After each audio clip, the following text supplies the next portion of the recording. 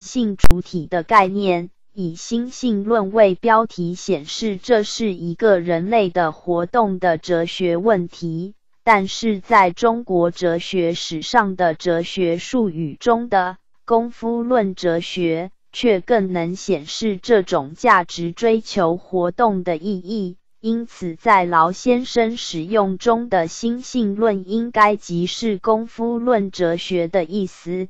如果心性论还有一出功夫论哲学的讨论项目，那就是由心性主体的进入去谈出关于外在现实世界的认识，而那就已经是形上学或宇宙论在处理的问题了。如果心性论这个哲学题目在处理的哲学问题始终是价值追求活动的话，那么我们就很有理由将其视为就是一种功夫论哲学。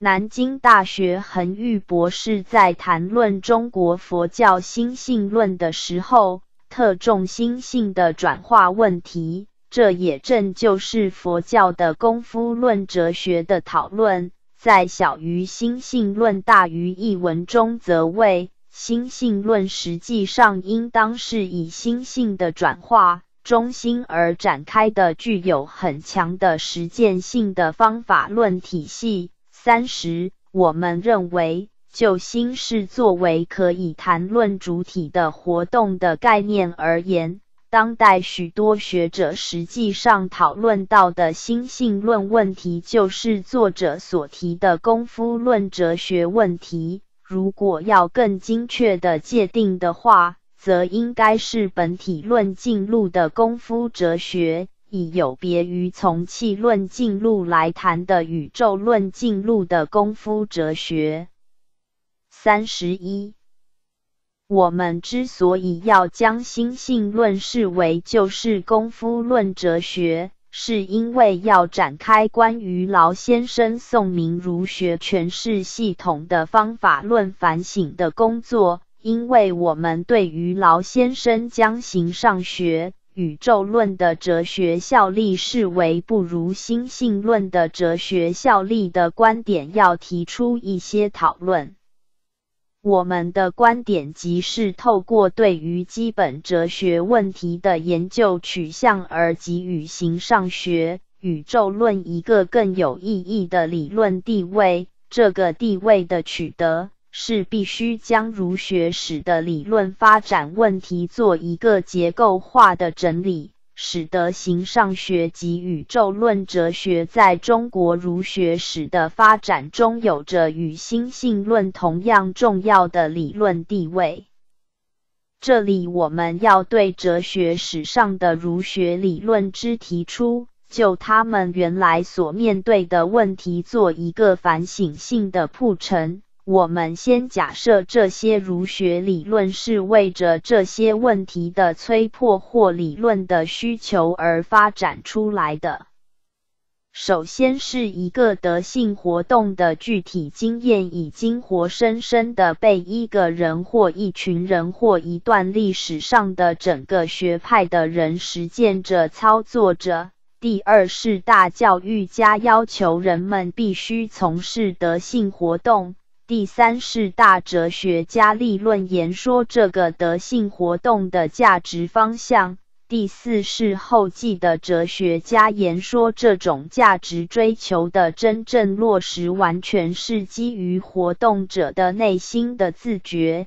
第五是哲学家对于追求这种价值所建立的普遍人性是在于实践者的自我要求、自我觉醒中成立的。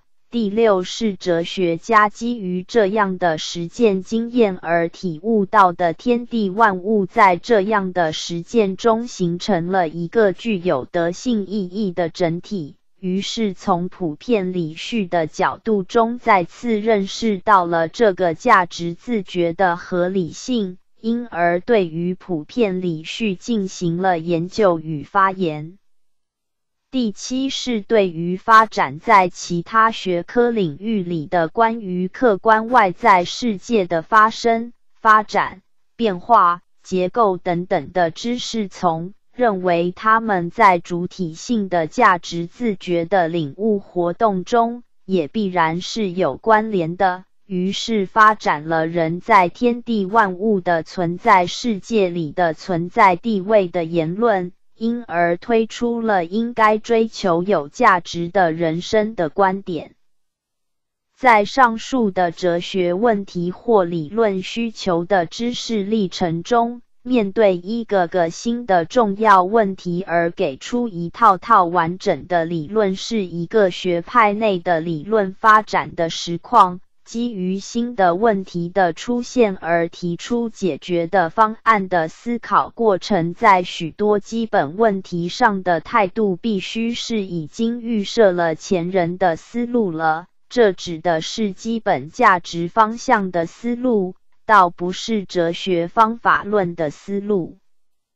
在我们这样的态度下，先秦至秦汉的儒学，从心性论到形上学到宇宙论，是一个知识的发展历程。他们并不是在回答同一个理论问题的理论建构。他们是在同一个价值心灵里而回答不同问题的理论建构。同样的，在形上学、宇宙论的知识形态已经普遍的成为道佛两家的哲学理论建构模式时，站在儒学立场的儒学家在宋明时期也就从周章的宇宙论思维到二程的形上学思维。到陆王的心性论思维，这也正是一个不同的基本哲学问题意识的转换的发展历程。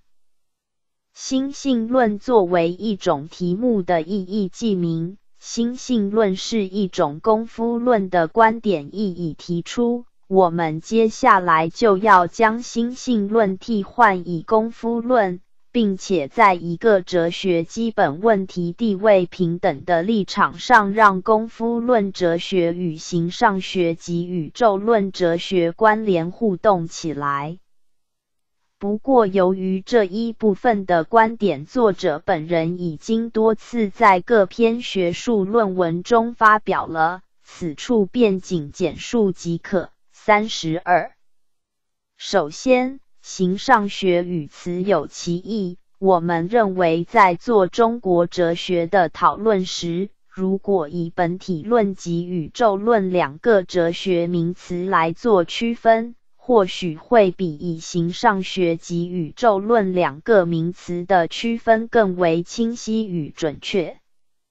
其次，心性论作为由概念范畴而言说的理论形态的意义，可以转换为由功夫论哲学替代。功夫论哲学是一个在中国哲学脉络中一直非常明确的基本哲学问题。功夫论中的价值方向，从实践的角度说是主体自己给出的。但是从理据的角度说，却是从本体论给出的。但是本体论中的价值方向的确立，从方法论的角度说，它仍然还是从主体的取决中建立的。以这样的架构重新来看心性论的时候，我们知道心性论便是一种本体论进入的功夫哲学。而当我们把注意力不只放在儒家，而要同时放在道家道教哲学的时候，气论进入的功夫活动便是其中的主角。气是外在现象世界的分析源，论说气即是论说宇宙论的问题。于是我们见出了道家道教哲学中言说于气论功夫的宇宙论进入的功夫论哲学。三十三这样的思路便使得心性论以功夫论哲学的新身份而能与本体论沟通起来，还能以儒家功夫哲学的立场与道家道教功夫哲学有了哲学比较的视野。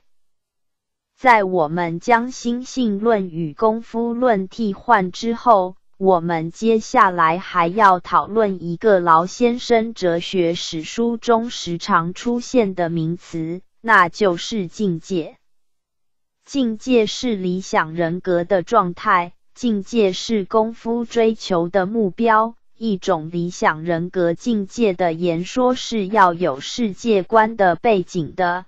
孔孟的世界观与道佛不同。孔孟的圣人境界与道佛的真人菩萨境界不同，各家的理想人格的之所以是如此的一个形象的问题，这是应该要有一个知识上的说明的。这个知识上的说明通常即是跳到了本体论及宇宙论中去了。由于作者在其他的文章中有专门讨论这个问题，此处就不再多述。重点在于作者要提出以功夫论、境界论及本体论、宇宙论四方架构的一套中国哲学基本哲学问题研究架构来作为中国哲学各家体系的诠释系统。在这个诠释系统中，将显示不同学派间的价值差异，但是同一学派却应有着相同的价值立场，否则即不能称为同一个学派。至于应如何准确的诠释如是到各学派的价值立场，这涉及我们对理解各学派理论建构的知识训练的问题。此处亦不多论。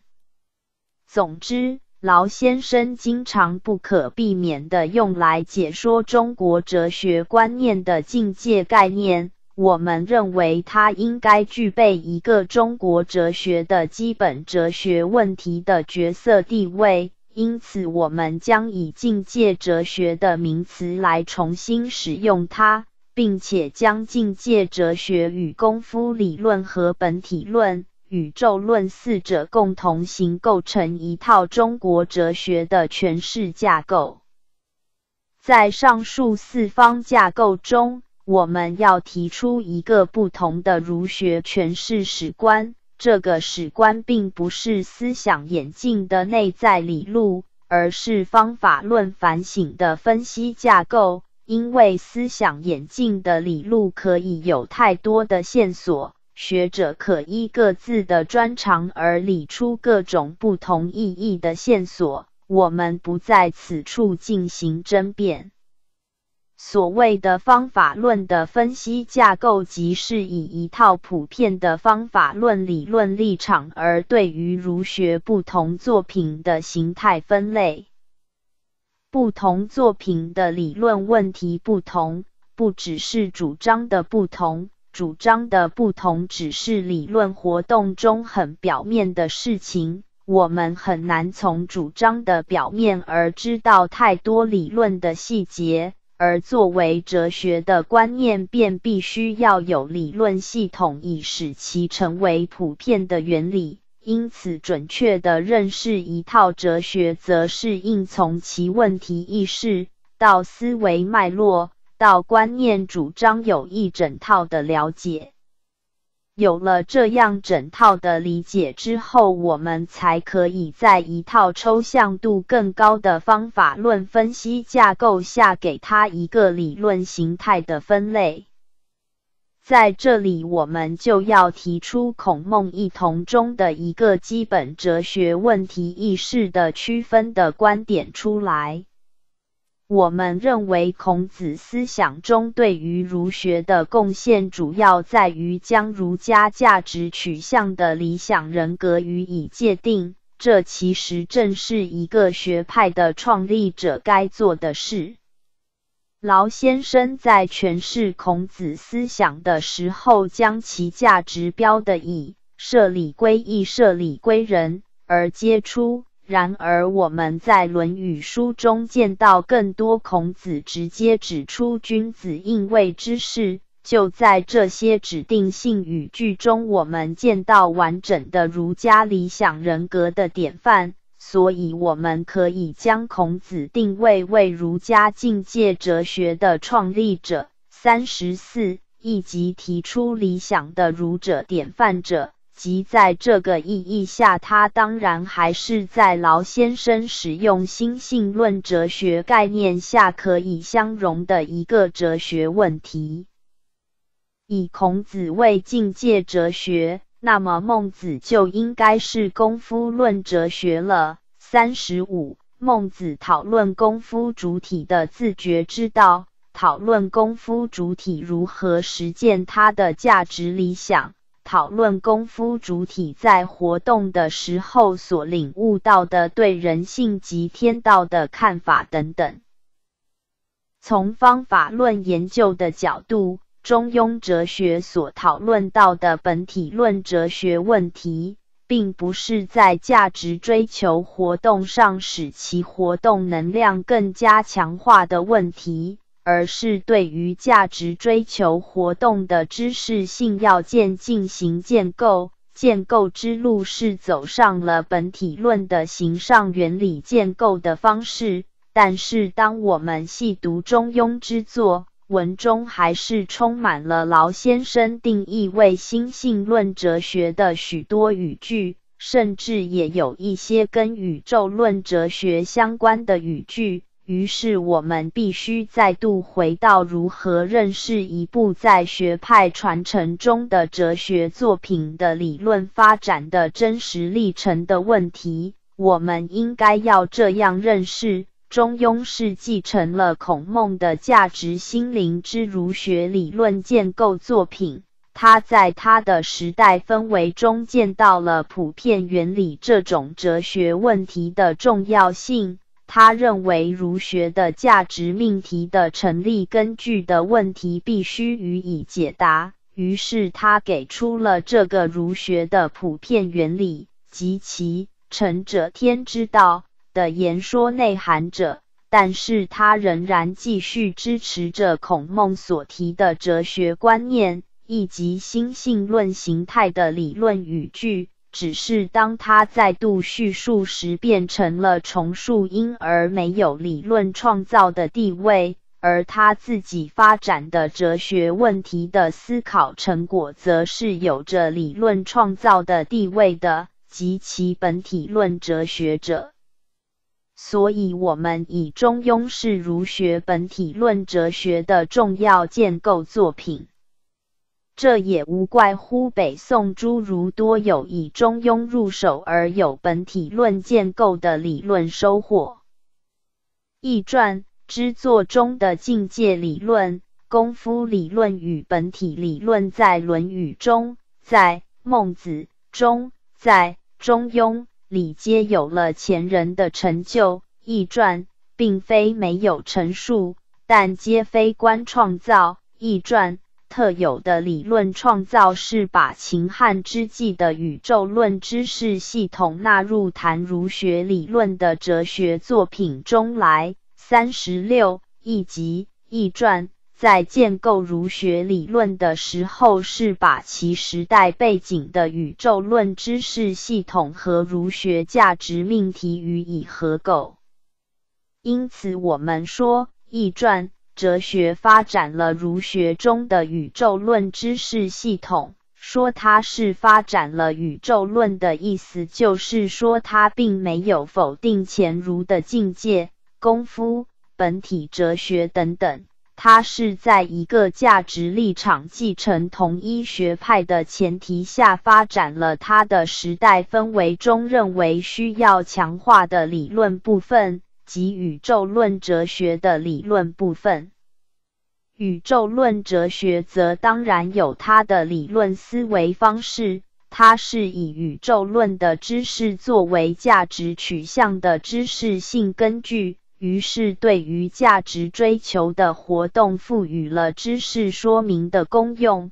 但是，价值追求活动的真正发动是无关乎外在客观的知识的说明或认识的，或说是并不是在宇宙论的知识说明中即可由实践者直接发动功夫做价值追求。价值追求活动仍然必须是主体的内在心性的自觉，但这是谈活动的理论。如果是谈活动理论的知识性根据，则可以诉诸宇宙论及本体论。我们在这样的诠释思路上，将宇宙论及本体论和心性论中的功夫论和衍生的境界哲学予以合构，并将孔、孟、雍、一个自作为某些问题的哲学继承者及某些问题的哲学创造者的角色扮演予以厘清。在这个工作完成之后，我们要就本体论和宇宙论的方法论地位进行检讨。在这个检讨的意见中，我们又要再度接受劳先生在方法论上对本体论和宇宙论的批判性意见。劳先生针对价值追求活动无关乎本体论及宇宙论的理论建构。劳先生以价值取向的给出是直接完成在主体的自作抉择中，故而不能诉诸本体论及宇宙论的知识命题来予以推动，故而对于价值追求的活动而言，本体论及宇宙论的理论效力是不如心性论的。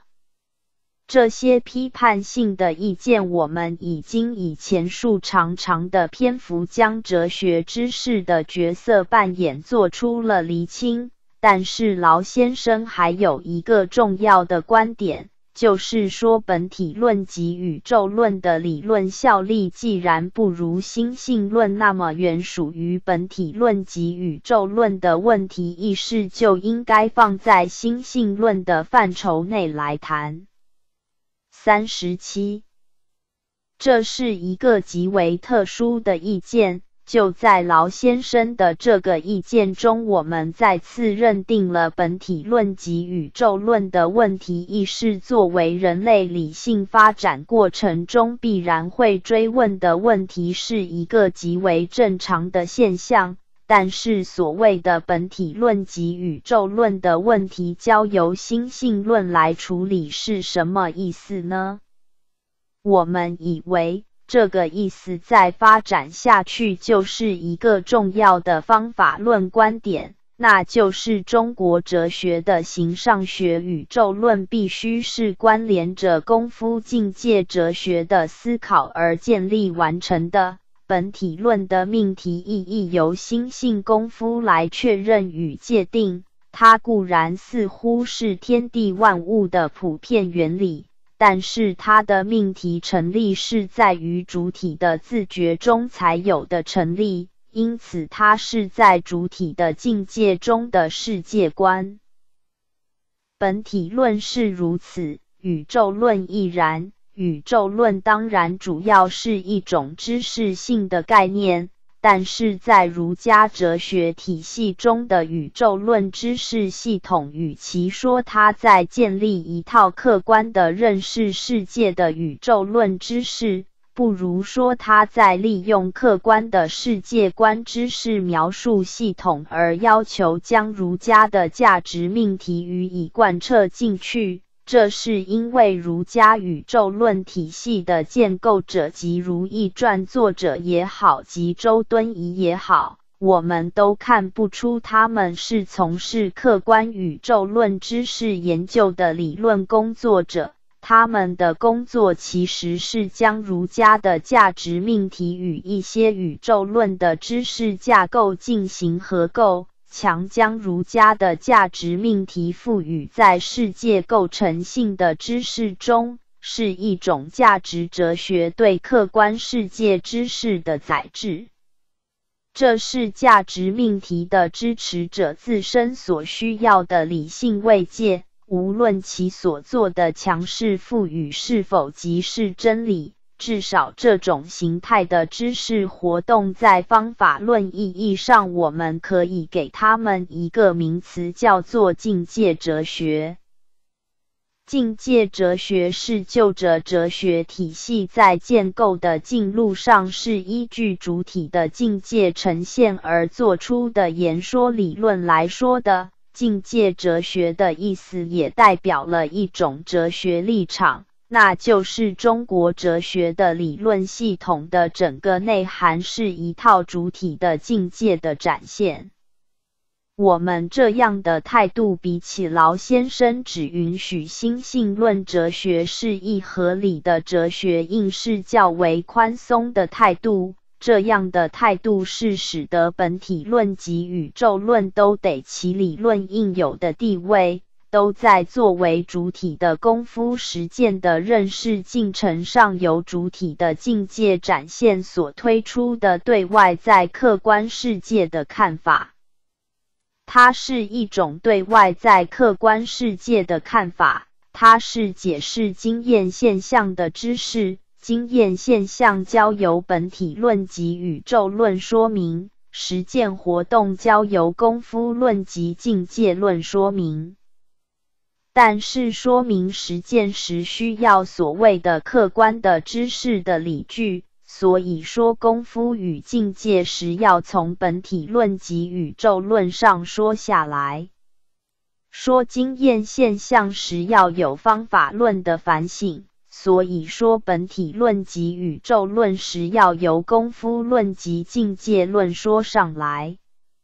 从方法论上说，本体论与宇宙论只是一种境界哲学。从知识的理据上说，功夫论与境界论是有形上学及宇宙论的知识根据的保证的。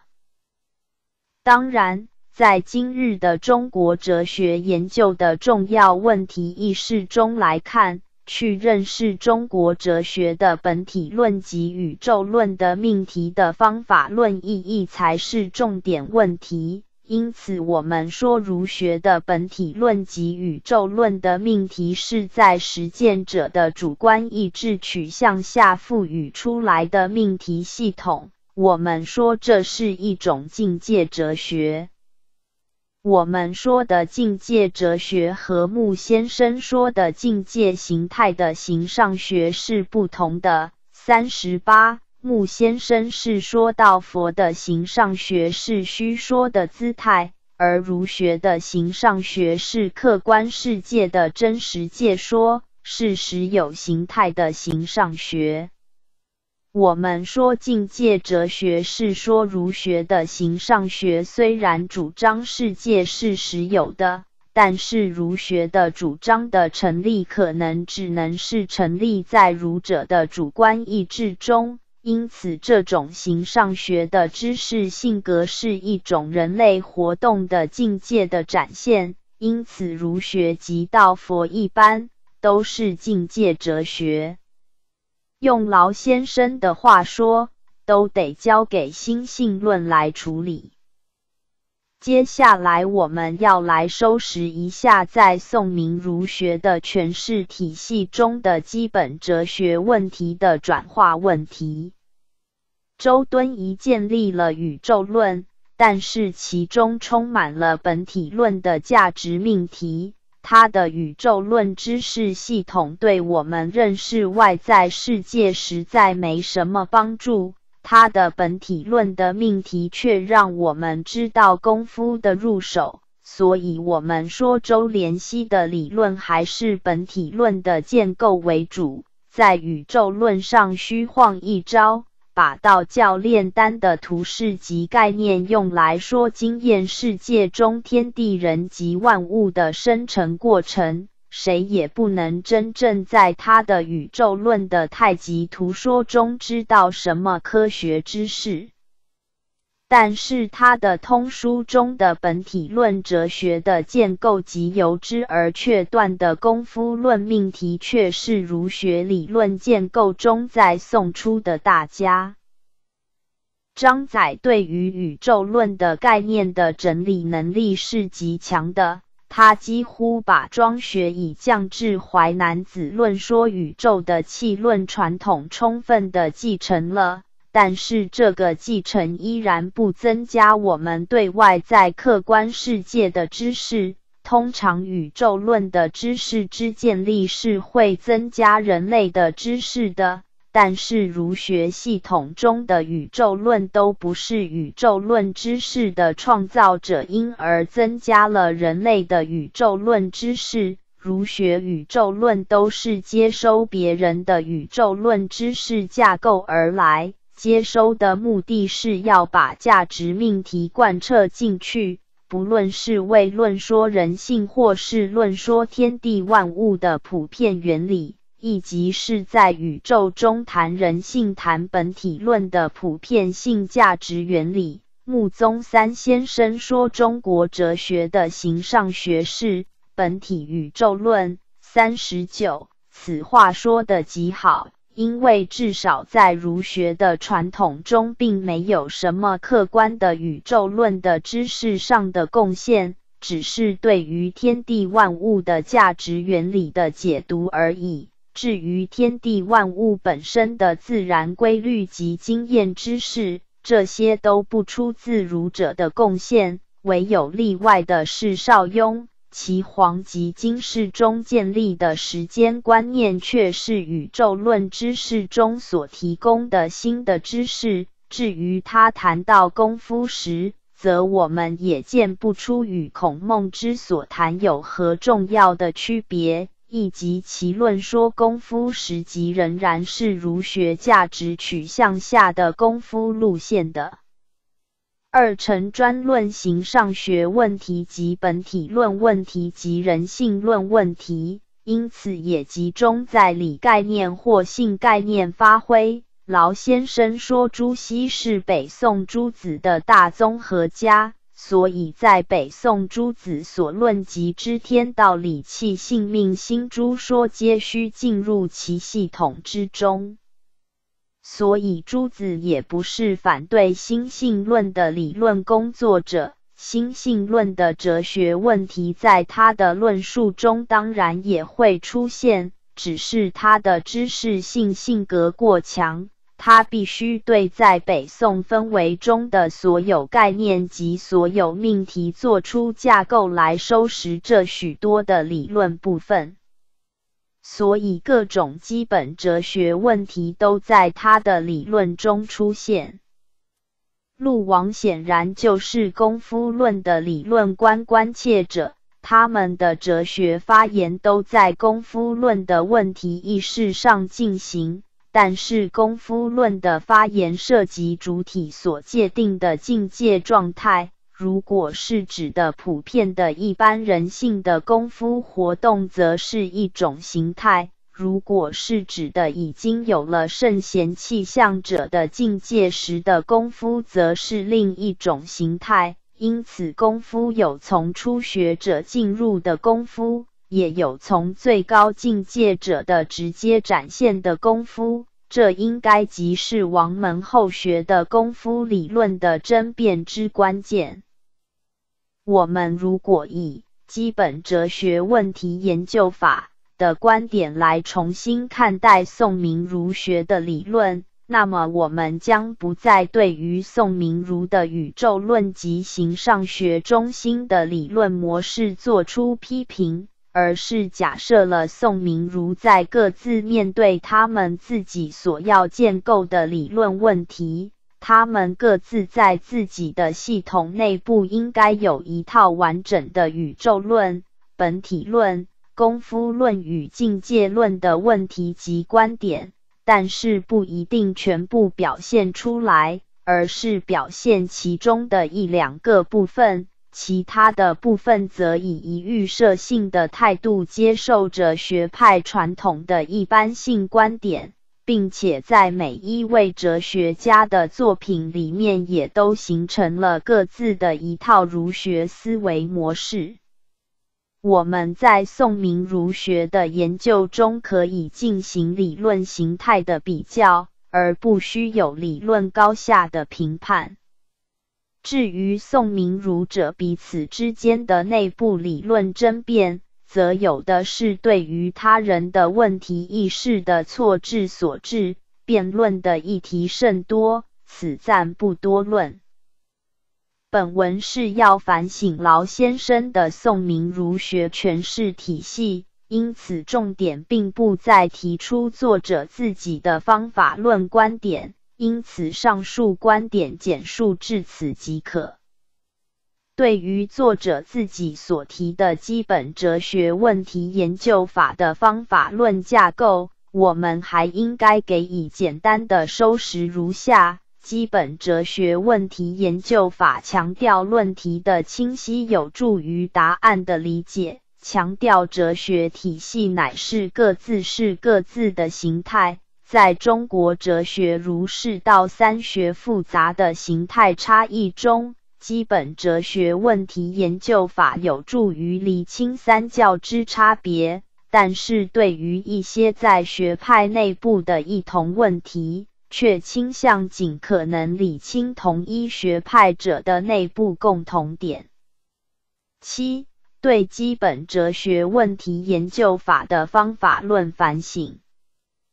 对于我们把功夫、境界、本体、宇宙四个基本哲学问题评质为研究中国哲学各家体系的方法论诠释架构而言，我们发现，在一个意义上是与劳先生所提出的观点有所冲突的。本文当然不是为讨论作者的方法论而作。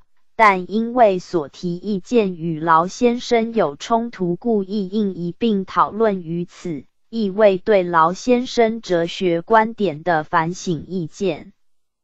基本哲学问题研究法意指着对于任意家的哲学理论而言，体系中应该包含本体、宇宙、功夫、境界四方架构。任一路的观点的提出，在一个整体的理论需求上，应该是彼此预设、互为关联的。各个哲学体系的理论建构可能有在于其中的一路或两路的偏重，也可能有全面的关照。总之，当它形成一套有形态的理论时，它必然有各个基本哲学问题的明确观点。有是他主动表达出来的，有是他在学派立场中预设着的，有是他的后继者会继续发展的。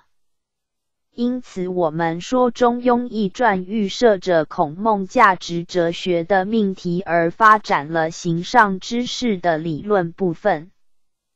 但是劳先生却说，《中庸易传》是以天道贯统心性论，而非以心性论安顿天道贯。四十，这样就与我们的诠释有所冲突了。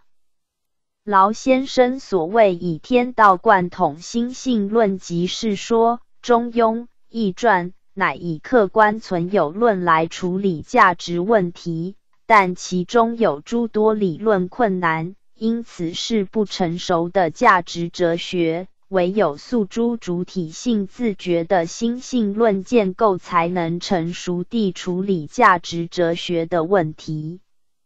为解决这个冲突的问题，我们认为《中庸易传》作为其理论的特色的部分，确实是以天道观、以客观存有论来说明价值的知识性依据。但《中庸易传》中也有许多文字是价值活动的语句，以及是劳先生所说的心性论意义的语句。《中庸易传》建构客观存有论知识作为价值方向的知识性根据，但在实践者要具体进行实践活动的时候，当然是主体性的自觉才有实践的真实实意。因此，这形上学宇宙论的客观存有论命题，其实是扮演着知识提供的角色，而心性论意下的功夫论与境界论，才是提供促成实践的指导性功能。至于这个知识上的提供的正确与否，其实是一个必须深究的问题。劳先生以儒学乃是站在价值的肯定世界一面上发言，以对抗佛教的否定世界的心性论立场。四十一，那么究竟应该肯定世界还是否定世界？又究竟佛教在什么意义上是否定世界？以佛教为否定世界的价值选择，因而进行佛教心性论的理论认识的方式，是否是佛教哲学体系的准确的认识方式？这些问题本身就是一个哲学上的客观世界的形上知识的辩论的问题。要辩论，就在形上学上辩论。儒学中的形上学进入的哲学体系，就在做着这样的辩论。对于肯定世界的人文化成的价值选择，当他遇到了不进行人文化成的价值方向的时候，他的价值立场的正确性的哲学问题是必须处理的。劳先生也说，佛教唯识学对于他们的否定世界的价值方向提供了知识上的说明。唯识学论说万法是一现象上的说明，即是一宇宙论的说明，即是一客观存有论的说明。儒学当然也得建立客观存有论。因此，《中庸易传》以天道说心性是在处理客观存有论的辩论问题；宋明儒的《周章二程及朱熹者即是在处理这样的问题。唯其论说知识兴趣过浓，遂有陆王就实践处在下回首，实践永远是主体性的活动。禅学的心性论亦是实践的哲学。陆王的心性论亦是实践的哲学，因此都走着心性论的路子。然其心其性各有不同。儒学心性论以肯定世界的人伦活动为价值方向及道德意识者，佛学以般若空慧为价值方向。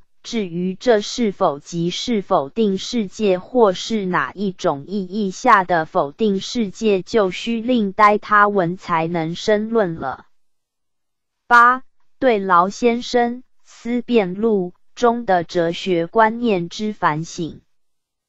劳先生于《静坐集》自序中即言明，他的作品有一些特殊性在，使得人们不易了解。原先自己也未曾明确的察觉到，现在在静坐集中或许多少能再做一些厘清。四十二，劳先生于静坐集中所提出的若干观念，确实对于原来在中国哲学史书中所提出的许多极强势的哲学观点，有了极明确的在界定的功效。这其实也更确定了作者原来对于中国哲学史书中的前述反省性意见的合理性。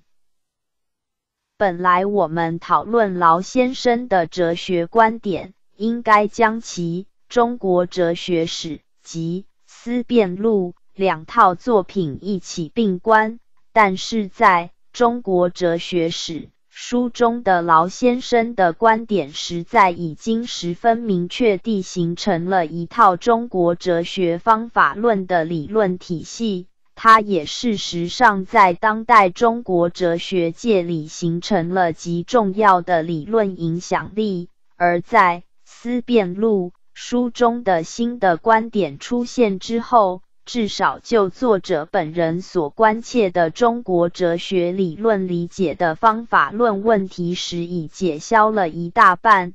但解消是对更根源性的理解观点的解消。至于就已经形成的对于宋明儒的解释架构，则仍存在于中国哲学史书中。所以，我们还是依照作者自己对中国哲学史。一书的完整的反省观点做出细节铺陈，在这个铺陈中使可见出哲学讨论的思辨历程。在经过了这个历程之后，再来研究劳先生的静坐集中的新的想法。则更能理解这些新的想法的更深刻的哲学意义。劳先生静坐集中有几组重要的观念的提出，作者认为对中国哲学方法论观念的澄清是极为重要的。第一组是认知性哲学及引导性哲学，第二组是功夫论哲学，第三组是道德理论、道德境界、道德教育。我们将从这三组观点的引介中说明他们是在什么意义上澄清及补充了劳先生于《中国哲学史》书中的观点，也要说明他们在什么意义上和作者对《中国哲学史》一书的反省性观念有能相互配合的地方。就认知性哲学及引导性哲学而言，四十三，劳先生透过对于哲学概念的开放性界定，提出中西哲学在义理沟通时应该对于彼此的哲学活动的特殊性有一种开放性的认知态度。哲学这种活动在中西的差异上。使得他很难有哪一位哲学家来给他一个定义，他只能有哲学史上的事实来呈现大家在这个活动上的经营。因此，对于他应该是什么的问题，要有一种开放性的态度。劳先生自己就对中西哲学的义理活动提出认知性功能及引导性功能的形态区分，并认为就中国哲学几乎都是作为引导性功能的哲学而言，如果人以认知性功能来检视中国哲学，则中国哲学几乎就不成其为哲学了。如果能准确地以引导性功能来认识中国哲学，则中国哲学的争议即可豁显。这也就是劳先生所提的要以开放性的思维来认识哲学这个概念的多重性意义。在引导性功能的中国哲学的立场上。我们便可以建立诠释宋明儒学及中国哲学的方法论架构。劳先生以心性论、宇宙论、形上学的三种形态来作为诠释宋明儒学及中国哲学的理论形态，是一种方法论系统。劳先生基本上主张心性论中心的哲学理论才是准确的中国哲学义理模式。我们则提出功夫境界、宇宙本体、平等地位的基本哲学问题诠释架构来探讨中国哲学。这也就是已经基于中国哲学是一种引导性哲学的立场上的做法，承认它是一种引导性哲学，但是它已经建立理论来言说它自身的观念。因此，它已经是一套哲学知识的系统。它因此可以有被诠释理解的客观架构，但是它是站在引导性的基础上言说的理论。所以，对于其中最有特殊性的功夫论哲学及境界论哲学，就应该是它的哲学知识系统内的重要部分。因此，应赋予其在论说中国哲学时的基本哲学问题的理论地位。在劳先生提出中国哲学是一种引导性功能的哲学形态的想法里，我们其实也意识到，这样的类似的观点在几位重要的当代中国哲学家的作品里也都是众口一致的表述了。例如穆宗三先生所着《中国哲学的特质》一书四十四，方东美先生写作《中国人生哲学》四十五，这些作品中都已经对于中国哲学作为一种人生哲学的哲学理论形态给予介说了。问题是在人生哲学的引导性功能中，对于哲学知识的义理定位应如何界定的问题，及中国人生哲学的客观知识建构的可能性问题。及其已经建构的庞大义理系统的客观成立可能性应如何判断的问题。中国哲学的引导性功能有可能引导错误，正确与否仍然有一个理性的探究的空间在。找出这个理性的探究空间，首在建立清晰的言说架构。言说架构清晰之后，对于所言说对象的真伪便有了可以辩论的余地了。这时候的引导性哲学便可以以理性知识对象的身份接受学院工作者的检视与批判。这应该也就是中国哲学的当代化及哲学化的工程了。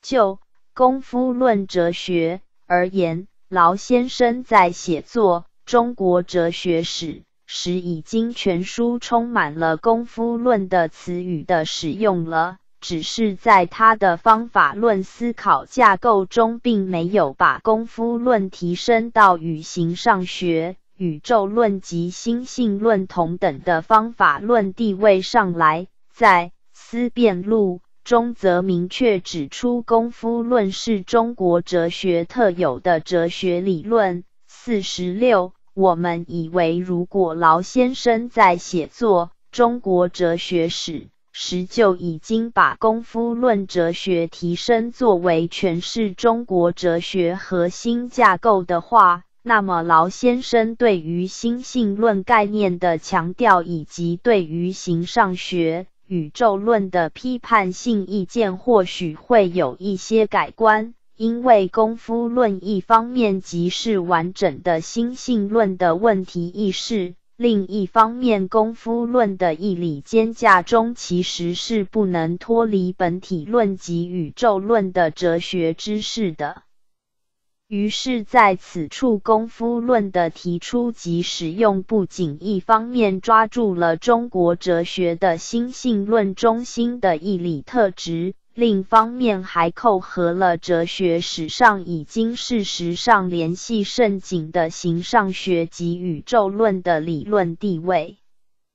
就道德理论、道德境界、道德教育的三个层面的区分而言。四十七，这是劳先生对于儒家哲学作为一种道德哲学的讨论时，认为旧道德哲学在各个文化传统中是有着上述三种课题的。我们深信，这也是劳先生在哲学概念的开放性视野的关照下所提出的对于道德哲学的课题的区分。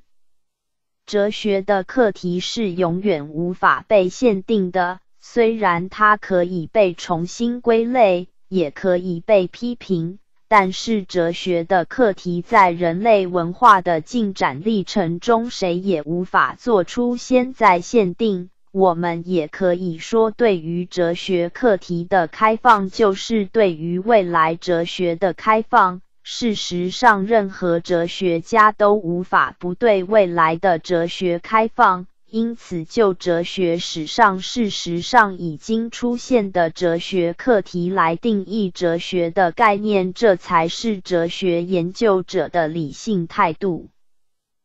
就儒家哲学是一种道德哲学而言，这其实也是一个明白的事实。说儒家哲学是一套道德哲学，应该是不需要再予以任何的方法论反省了。需要做的是对于道德哲学的建构、进入及成立判准进行反省。劳先生所做的这三种区分，事实上是以课题存在的事实开放了道德哲学的讨论空间。于是，在道德理论。的层次中，形上学、宇宙论、心性论等等哲学理论作为在这个课题下的题目项目是合理的，这是我们仅见的劳先生在这个意义下对儒家道德哲学中的形上学及宇宙论思维的不批判性意见。四十八，这也是我们一直的不放弃形上学、宇宙论作为一种儒家哲学的知识性建构的理论是有意义的理论。因此，要给他在儒学诠释体系中一个明确的角色及理论的地位。其次，在道德境界的层面，劳先生指的是道德实践的功夫活动部分。在我们的基本哲学问题研究法的四方架构中。这即是功夫理论与境界哲学在处理的哲学问题的层次。劳先生说，在道德境界的理论部分涉及的是意志的纯化问题，亦即是实践的活动的问题。路王即是这一路，心性论亦是这一路。这当然是价值哲学中的关键部分。劳先生提出道德哲学的这一部分来，我们认为重要的倒不是以心性论为涉及道德境界的道德哲学的再次界定，重要的理论意义是劳先生对于道德哲学的理论形态在道德境界之外还提供了道德理论的建构空间。这当然是使得《中庸易传》及周章二程之学重获理论地位的关键说法。最后，劳先生最强调的其实是道德教育的部分。劳先生提到，指导性功能的哲学都有一个转化自我及转化世界的目标。这在儒学的意义上，即是要去创造一个人文化成的世界，是一种要改变世界的理论，并不仅只是要说明世界的理论。当然，要改变世界的目的是要有知识性的说明的。儒学的道德理论部分，即是作者这样的说明。但是，当道德理论的知识说明及实践者的修养功夫已然充分之后，即需要有更具体的社会教化的活动及其知识。这一部分的哲学理论也可以就叫做文化哲学或教育哲学，甚至即是社会政治哲学。就这一部分的理论而言，孔子当然说的多些。但是孟子也说的不少，荀子就一直在说了，甚至反而在人性论的问题上太迁就社会政治功能而致走了偏锋。至于宋儒，则相对的说的少了，这可能跟他们的官位太小了有关系。不过陆王是有事功的，刘吉山也有许多奏议。这也显见宋儒真是搞理论的人。从劳先生这一部分的理论强调而言，我们也确实可以见到劳先生自己的努力。一步《思光实论集》四十九就是最好的写照。九小节，本文对劳先生于宋明儒学的方法论反省。提出了许多作者自己的相应性的观点，其实是站在劳先生的基础上，企图多处理一些中国哲学史上的理论问题。基于作者自己对于中国道佛两家哲学的更多关怀，因此提出了另一套方法论架构。本来的目的是为了在做三教比较时能有一更有力的分析架构而做的。这一部分的若干成果亦已见于作者的其他论文中。方法论架构是为协助分析哲学作品的，真正哲学实力的养成都在原点书解中才能成就。这也将是作者自己未来的努力目标。希望不是仅只凭空的提出一种可能性的解释架构就完了。劳先生的解释架构是已经具体的展现在整部中国哲学史书中的方法论体系，因此是一个活的方法论。就现在从事中国哲学研究的学者们，先有能兼具方法论创作及原点解读工作同时进行的。这也就是为什么当我们宏观的来谈现代中国哲学时，冯友兰先生、唐君毅先生、方东美先生、穆宗三先生。及劳思光先生的作品需要一再的被研究讨论之故，希望本文之作对于劳先生的方法论体系在当代中国哲学研究的进程中是有意义的，因为作者自己也是一直的在劳先生的著作中汲取养分，特别是在《思辨录》。中又见到更多的契合之处了，是为小结。宜参见新编《中国哲学史》，台湾三明书局出版，一九八一年出版。本文所引用的是一九九一年增订六版。以下本文及注释中皆简称《哲学史》。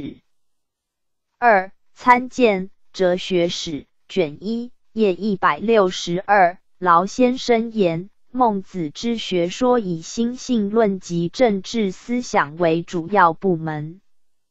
underscore underscore underscore 心性论又可分数点言之：一、性善与四端说，价值根源与道德主体之显现；二、义利之辩，道德价值之基本论证。三、养气与成德之功夫，道德实践问题。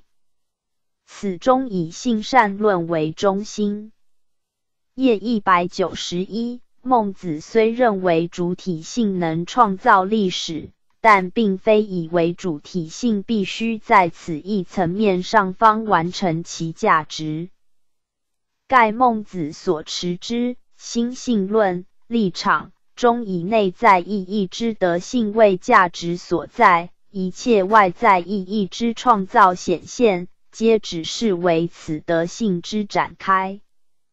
此种展开有故甚佳，无亦不爱德性本身之价值。三参见拙著《功夫理论与境界哲学》及《基本哲学问题》，北京华文出版社。或作者网站杜宝瑞的中国哲学教室 http: 冒号双斜线 huofan 点 hfu 点 edu 点 tw 斜线取代符号 bui 四关于哲学体系研究法的观点，请参见拙著小鱼和尚公祝老。的哲学体系之方法论问题检讨大于两前春三清道家道教学术研讨会，三清道家道教文化基金会主办，桃园大溪，二零零零年四月二十二至二十三日。及小于严君平，老子指归哲学体系的方法论检讨大于。中国哲学与全球伦理国际学术研讨会，东吴大学哲学系举办，二零零零年五月二十至二十一日。或参见世界红名集，二零零零年六月号。五参见劳思光哲《思辨录》，台北东大图书公司，一九九六年一月出版。以下本文及注释中皆简称静坐集。六参见《哲学史》卷一页一百四十七。劳先生言：自我问题本为哲学之基本问题，亦是一理论性极高之问题。Underscore underscore underscore underscore underscore underscore 欲了解孔子对自我问题之态度，主要可通过其对各种价值之论说而做观察。盖一学说中所最强调之价值，必代表立说者对自我境界之主张。另参见页一百四十八。自我境界之有种种不同，乃亦无可争辩之事实。兹一一设准，将自我境界作以下划分：一、行驱我，以生理及心理欲求为内容；二、认知我，以知觉理解及推理活动为内容；三、情意我，以生命力及生命感为内容。四德性我以价值自觉为内容。我们认为，境界作为中国哲学的基本哲学问题是极为需要的。劳先生于哲学史书中论说孔孟及老庄思想，都用上了这个架构，显见将境界问题直接视为中国哲学的基本哲学问题的可行性。劳先生上述的分析架构，即是对于主体境界状态的分析架构。七，参见《哲学史》卷三上页四十八。劳先生言：宇宙论与形上学之差异，在于形上学之主要肯定必落在一超经验之实有 （reality） 上，建立此肯定后。对于经验世界之特殊内容，可解释可不解释。即有解释，亦只是其形上实有观念之展开。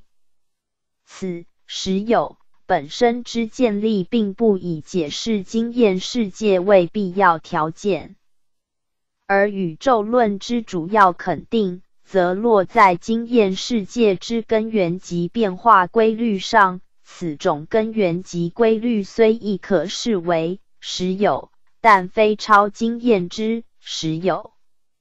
其建立根据美与经验世界之特殊内容息息相关，故宇宙论之形态，依哲学史观点说，较形上学形态为幼稚。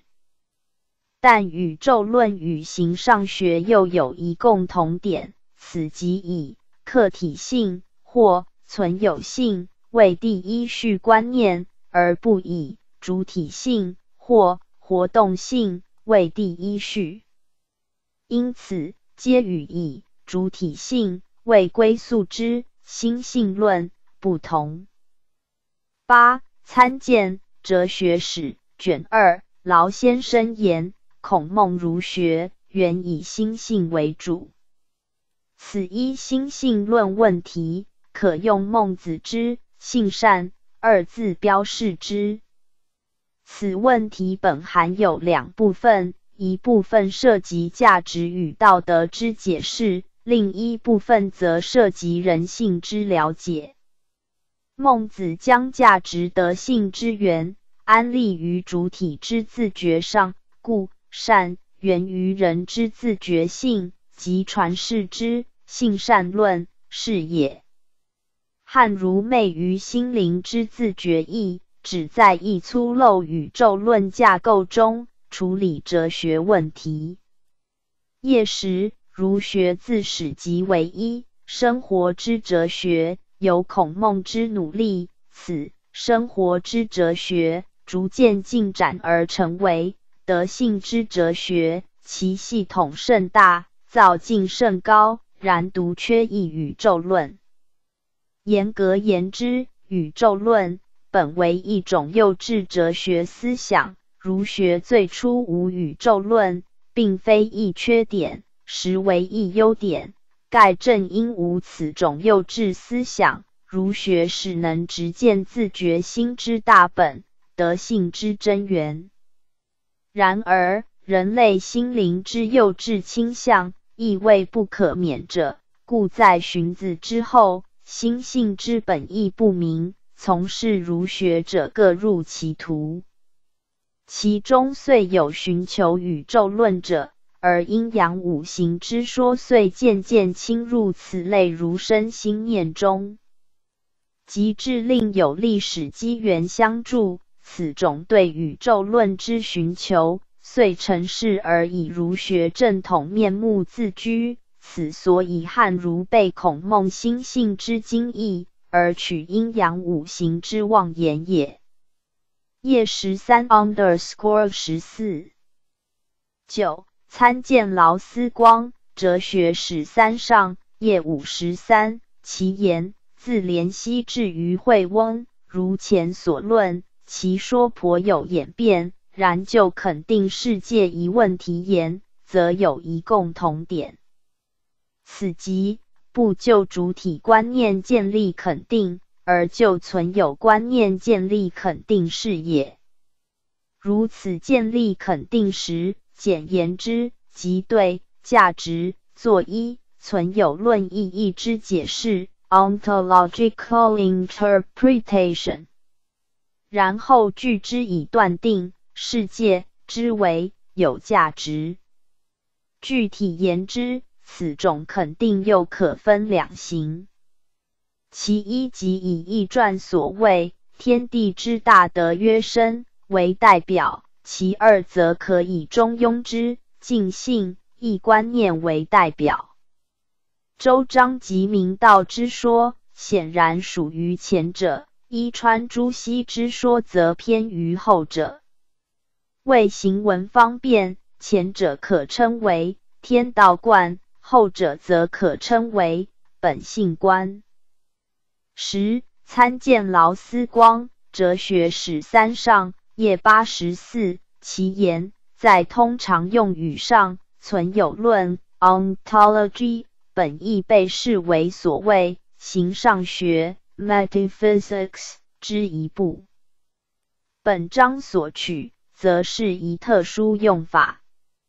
所谓存有论之立场。专指以万有实际上皆以受理之决定为特色，而所谓形上学之立场，则只在万有之外肯定理，而不重视理之，以实现于万有。一意而言，此点顺便说明，以免学者误会。十一参见劳思光哲学史三上。页八十四，其言形上学之立场，即接近于本性论。上文已述其要旨。本性论与天道观之不同，在于本性虽未实有，但并不必然是已实现者。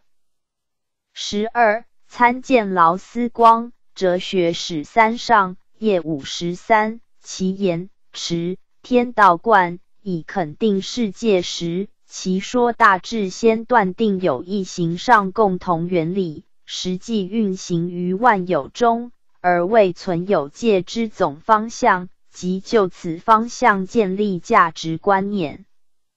因此，所谓天道必有两点特征：第一，天道必有实质意义之内容。不能仅为形式意义之概念，否则即不能实际运行于万有中。第二，天道虽是一形上之实有，但此实有必须兼为价值之根源，否则若天道在价值上有中立性，则具天道以肯定世界即不可能。十三。参见劳思光哲学史三上页五十六 underscore 五十七其言然言本性之实现时，若只就一一性或理与其相应之事观之，则似无困难；若就众多之本性彼此间之关系观之，则有极严重之困难在。此困难可称为本性实现中之冲突问题。此问题原为一切本性论 （Doctrine of Essence） 之共同问题。十四，参见木先生言：如是道三教都从修养上讲，就是广义的实践的。这种形而上学，因为从主观讲，不从存在上讲，所以我给它个名词叫境界形态的形而上学。这是大分类。中国的形而上学。道家、佛教、儒家都有境界形态的形而上学的意味，但儒家不只是个境界，它也有实有的意义。道家就只是境界形态，这就规定它系统性格的不同。中国哲学十九讲页一百零三，台湾学生书局十五。参见劳思光《哲学史三上》页四十九。其言：孔孟之学原属心性论中心之哲学，故主体性观念最为重要。十六。参见劳思光《哲学史三上》页五。其言：成熟阶段及心性论重建之阶段。此一工作始于南宋之陆九渊，而最后大成于明之王守仁。陆氏首重心观念，即由存有归于活动，由对峙于客体之主体身往最高主体性。阳明主良知之说，最高主体性乃由此大名。至此。宋明儒学进至高峰。另见《哲学史三下》页六百一十九。其言：怜惜就说，乃以形上学及宇宙论混合而立者，故在哲学模型上看，是一天道观系统，即所谓由天道以下观人道之系统，即山所立之。合一观，则万有合于一心。在哲学模型上看，是一心性论系统。正成阳明路数，即页六百二十一。其言：从哲学史观点讲，阳明所代表之心性论模型之哲学，至极山已发挥至极。十七，参见注二。十八，参见劳思光《哲学史》卷一页一百一十二。其言：然则孔子如何发展其有关礼之理论？即设礼归义，更进而设礼归人是也。通过此一理论，不为本身不同于遗文，而且礼之基础亦不在于天。而在于人之自觉心或价值意识。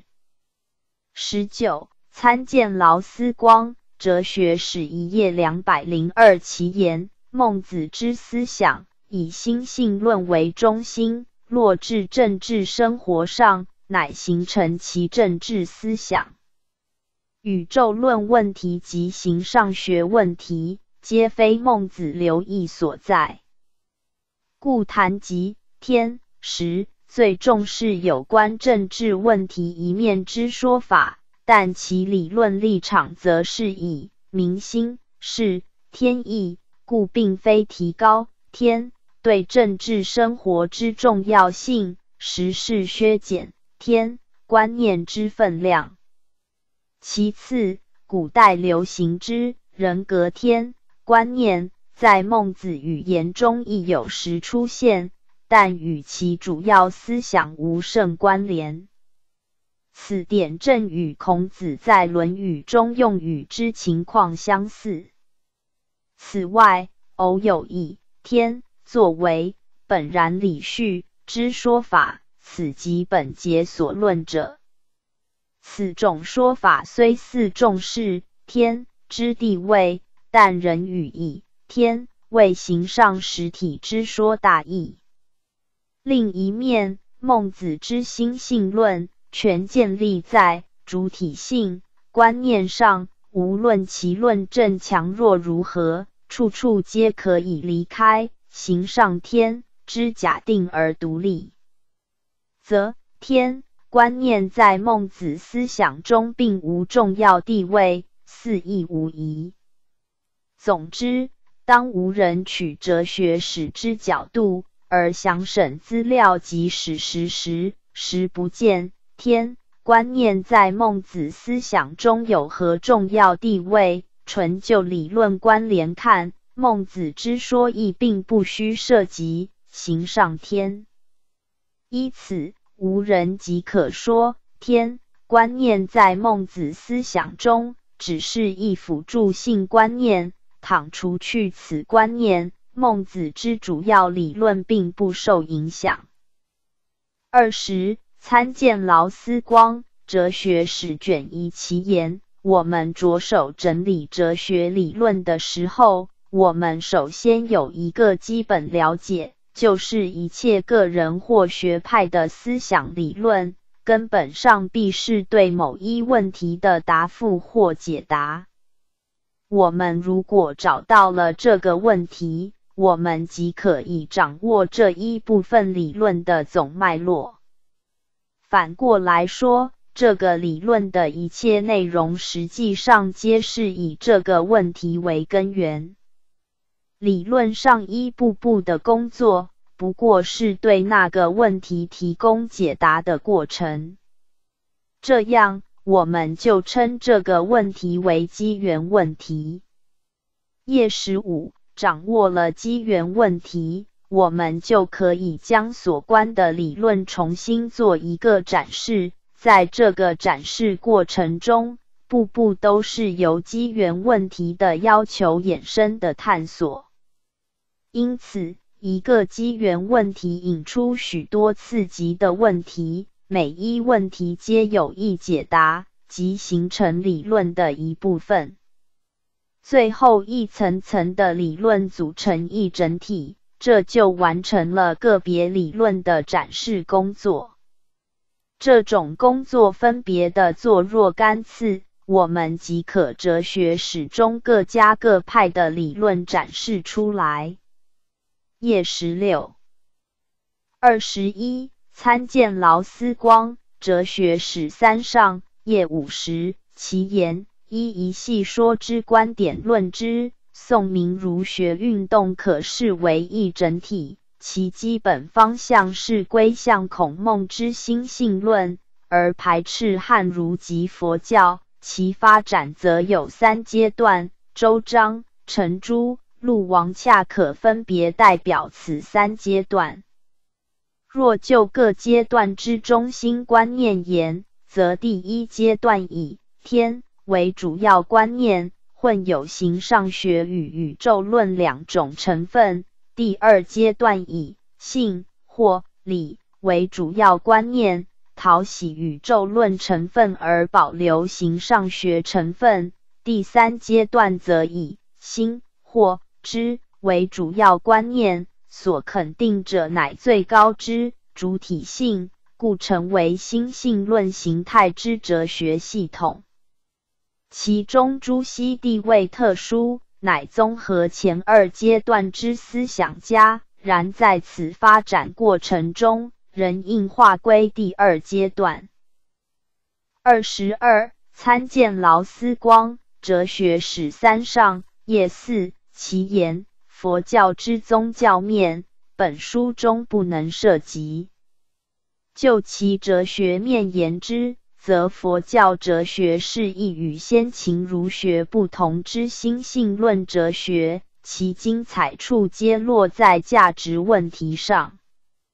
中国学者在面对佛教之压力时，由其教义中之强点，即看出汉儒传统下。宇宙论中心之哲学之根本弱点，故在唐末，学者如韩愈、李敖等，皆以据佛之立场而初步尝试脱离汉儒思想，盖欲与佛教之价值论争短长，即不能不抛弃宇宙论中心之哲学，而归于心性论中心之哲学。就理论层级说，宇宙论中心之哲学本身属于幼稚思想，无法与佛教之心性论抗衡，此是客观限制。此限制一旦进入人之自觉，则抛开宇宙论而重看价值问题，即是不可免之事。二十三，参见劳思光《哲学史》三上页六十一、六十二。其言在时间次序上，最早出之周章之说，距孔孟原旨最远，理论效力亦最弱。伊川所代表之学说。摆脱宇宙论而较近孔孟，然亦未能归于心性，其理论效力遂受两种内在困难所限。至陆王则经长期之酝酿而出现第三阶段之心儒学，最近孔孟亦最具理论效力，则合而观之，自宋至明之儒学思想，可视为一整体之运动。以归向孔孟原旨为目的，以层层加强理论效力为演进之主脉。运动本身可分阶段，但毕竟仍是一运动，且在时间次序上，越在后者，是能较满足原始目的之要求，较能达成理论之稳固，恰与历史标准及理论标准相配。则无人无良好理由将此一运动之整体性破坏，而强分数系。此所以应持一细说也。二十四，参见朱伯坤者《易学哲学史》，台北兰登出版社，一九九一年九月出版。二十五，参见劳思光《哲学史》一第两百零三页。二十六，痛前注。二十七，参见蒙培元者《中国心性论》，台北学生书局出版，一九九零年四月出版。二十八，参见木宗三者《心体与性体》，台北正中书局出版。二十九。参见世界红名及 http: 冒号双斜线 triple w 点 whpq 点 com 横玉博士者，小于论心性大于二零零零年六月号，小于陈前其后论方法，关于佛道如心性论比较研究的方法论问题大于二零零零年三月号。小于中国佛教心性论述评大于一九九九年九月号。三十参见前注。三十一关于心性论可以是本体论进入的功夫哲学一义，请参见拙著小于功夫理论与境界哲学大于一文，收录于功夫理论与境界哲学。书中，北京华文出版社，一九九九年八月出版。三十二，参见注三。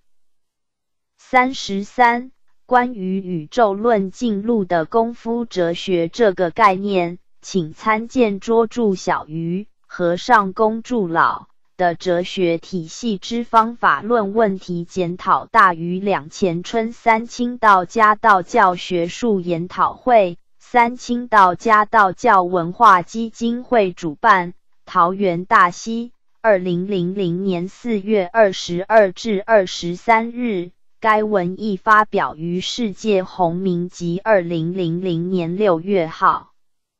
文中即以和尚公的哲学形态为宇宙论进入的功夫哲学的一个范型。三十四，参见拙著，一九九八年十月小于孔子的境界哲学大于台北中华易学杂志。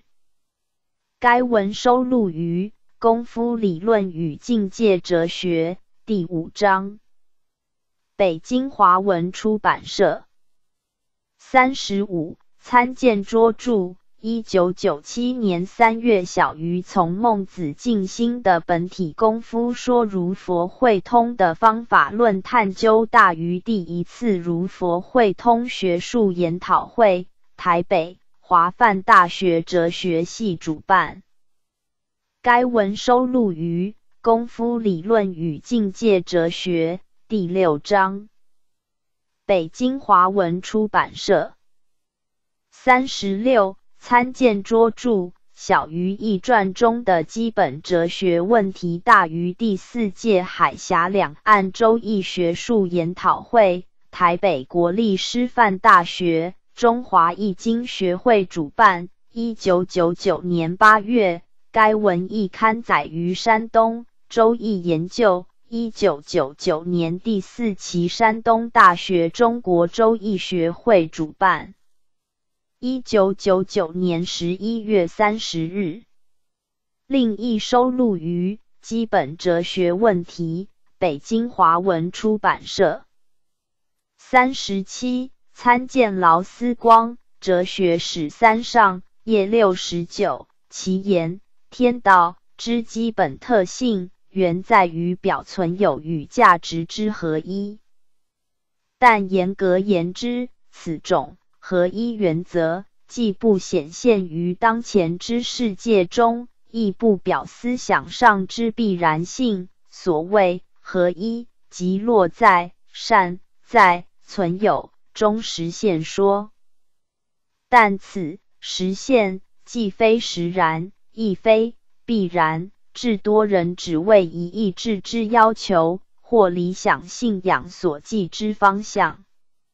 作为一方向看，天道之存有地位，即只能取主体活动义。换言之，所谓天道，只是主体自己自立自定之方向，并无离主体而独立之实有性。因若不如此安立，则天道之说即处处成为不可解。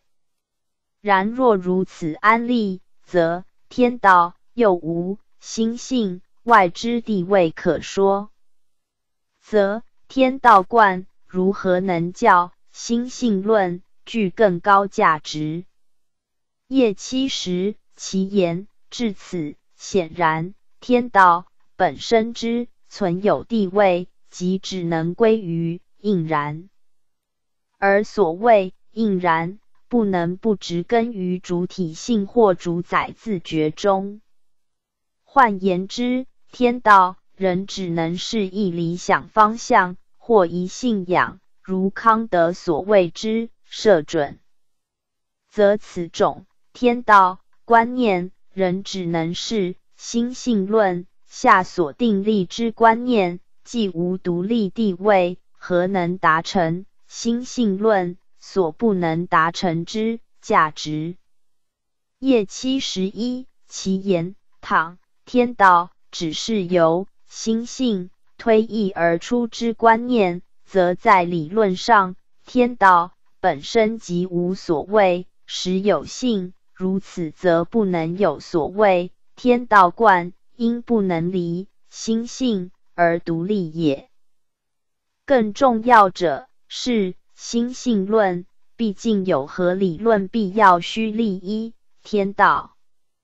天道。若只依心性而成立，则此无实有性之天道，即成为一空明。除产生许多理论纠结外，并无正面功用。因言天道者所认定之种种属于天道观念之功用，皆可收归心性本身，即无理论根据多利益观念。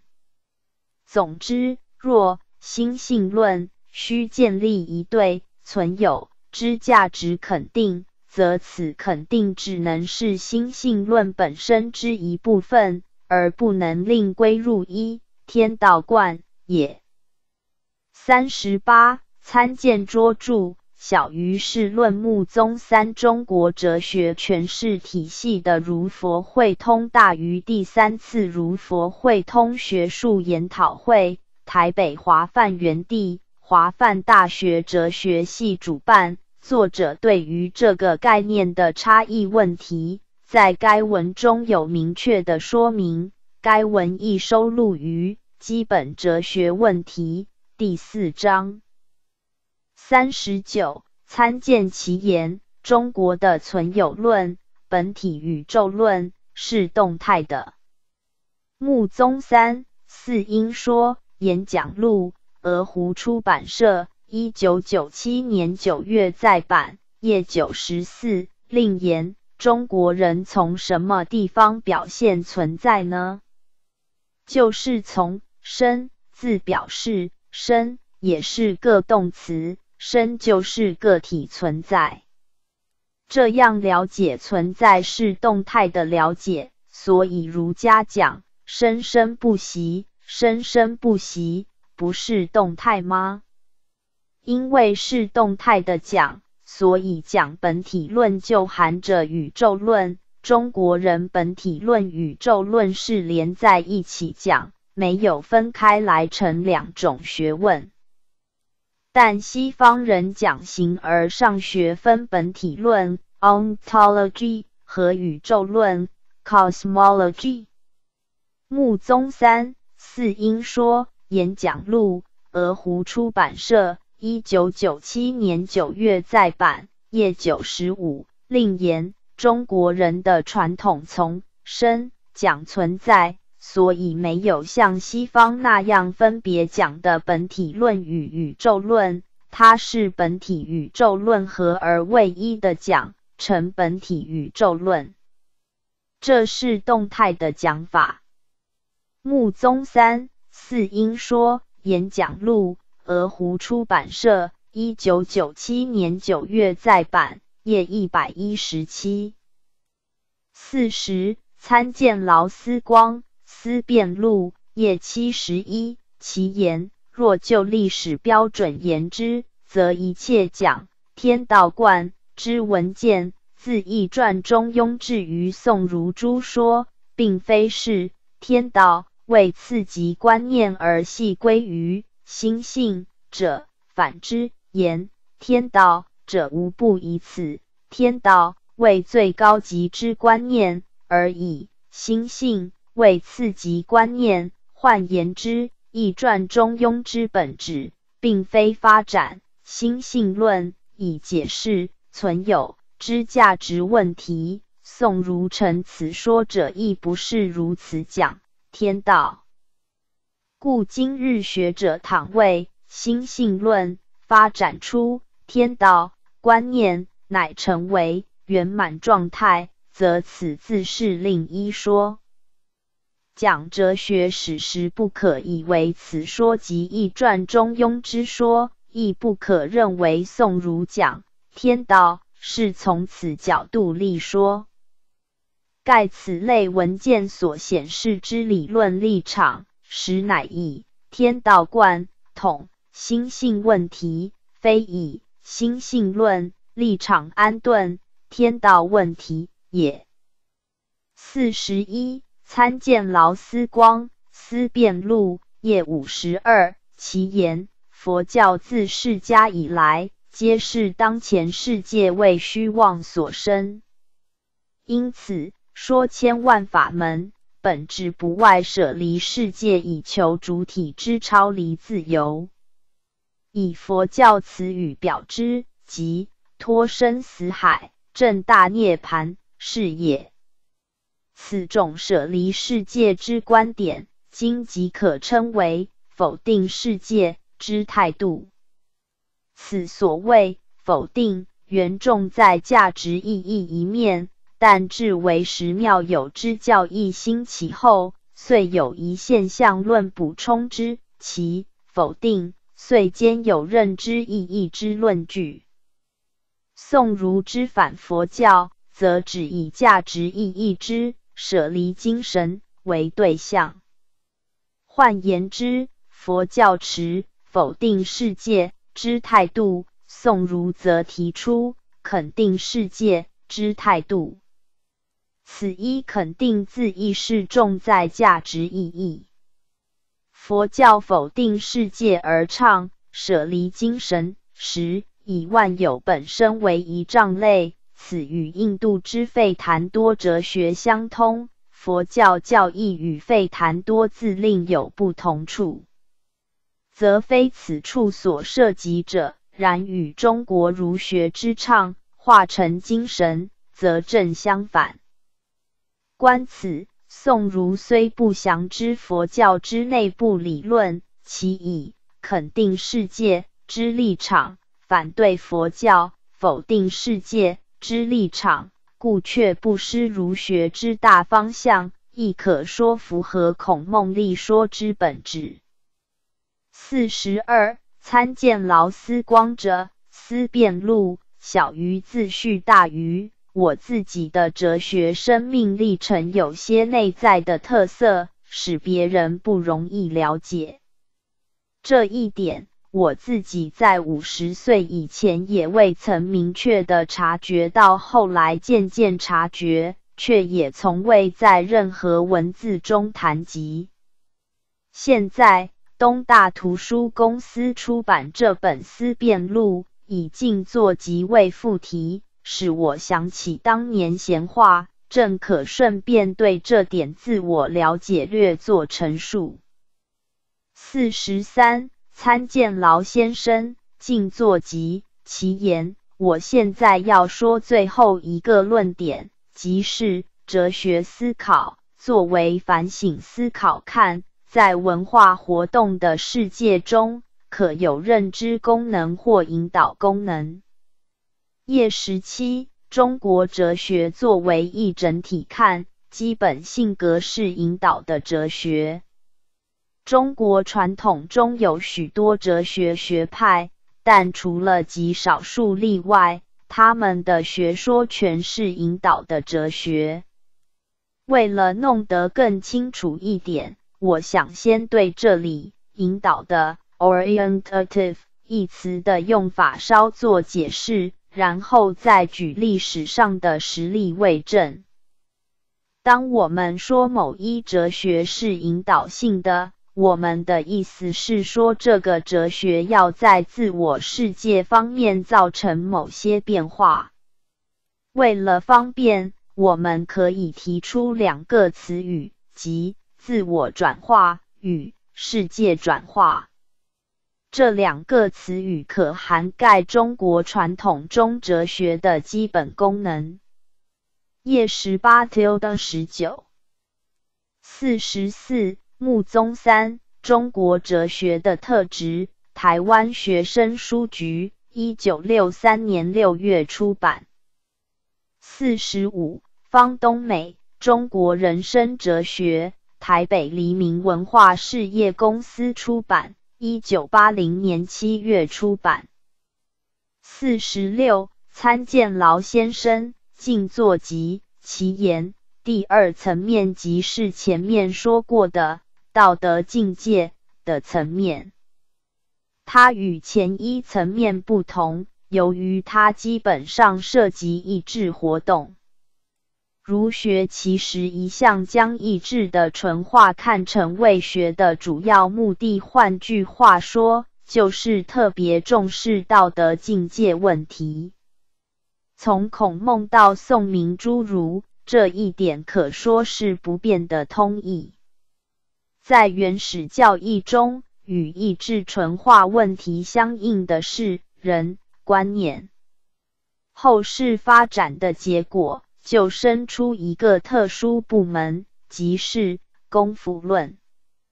underscore underscore underscore underscore 功夫论是儒学特有的哲学，在西方道德哲学中，这一部门可说是从未建立。印度的佛教教义中，倒有与此类似的部分。但那里面含有宗教的信条，又与儒学功夫论很不同。所以谈到功夫论，我们就更进一步儒家道德哲学的特色。页四十六、四十七，参见劳先生《静坐集》，其言道德哲学在各个不同的文化传统中都有不同的研究成果，但是基本上所涉及的课题则不外三个层面：第一是道德理论的层面，第二是道德境界的层面。第三是道德教育的层面，广义的道德哲学也应该笼罩这三个层面。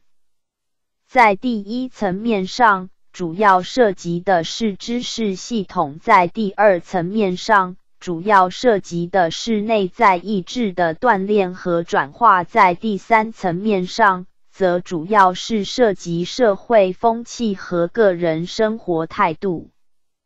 这三层面彼此间可以有种种复杂交错的关系，但基本上各成一领域。页四十由对道德观念的意义与指涉开始研究，再层层吸入其他有关的题材，结果便产生了许多道德理论。例如，为了解释善的意义。人们可以建构一套宇宙论、一套形上学或某种本体论系统。另一方面，为了解释道德观念的特性，人们又可以转向道德语言的研究，而建立一套套的后设伦理学理论 （meta-ethical theories）。我们今天纵观古今中西各种道德理论。真可以说是洋洋大观。可是，这样繁多的道德理论，毕竟只代表我们对道德的知识。道德哲学的原始不只是一个知识问题，我们还有第二层面的道德境界问题。道德境界与道德理论之不同，追本溯源。实在是智性与意志两种能力的界域问题。页四十二，今天我们如果顺着西方学院风尚来讲道德哲学，则可以说几乎全部研究工作都属于对道德的知识。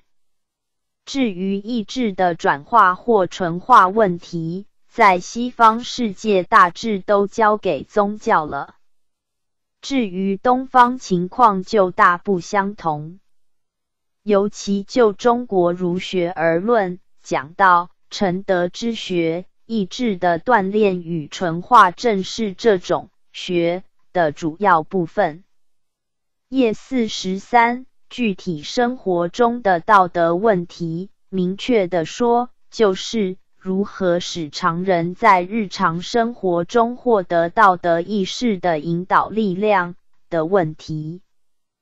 放宽一点讲，我将这个层面的道德问题称为道德教育的问题。页四十四，义与性是儒家道德理论的基本观念，由此衍生出的理论系统，则有汉儒的宇宙论。